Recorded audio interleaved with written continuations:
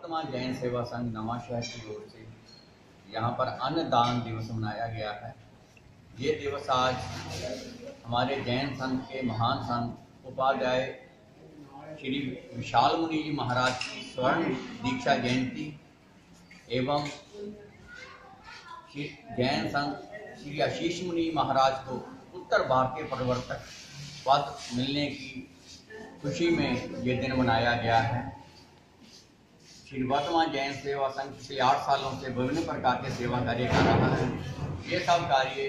हमारे जैन संतों के आशीर्वाद से ही संपन्न हो रहे हैं। श्री विशाल मुनि जी महाराज जिनका दीक्षा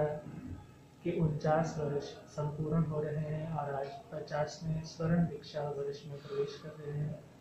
इसी उपलक्ष्य में आज उत्तर भारतीय प्रवर्तक पंडित रतन पूज्य गुरुदेव श्री आशीष मुनि महाराज एवं आगम ज्ञाता आगम पुरुष जिन शास्त्र रतन हिमाचल के श्री उपाध्याय भगवंत श्रद्धे गुरुदेव श्री जितेंद्र मुनि जी महाराज सभी गुरु भगवंतों के सानिध्य में नवा शहर के जैन स्थानक में सामूहिक एकाशना दिवस एवं अन्नदान महादान की परंपरा को अग्रसर करते हुए आज का आयोजन हुआ गुरु भगवंतों ने उनके पूज्य डॉक्टर श्री विशाल मुंजी महाराज साहब के जीवन पर प्रकाश डालते हुए उनकी विनम्रता, सरलता, सहजता, विद्वत्ता एवं भाषा के बारे में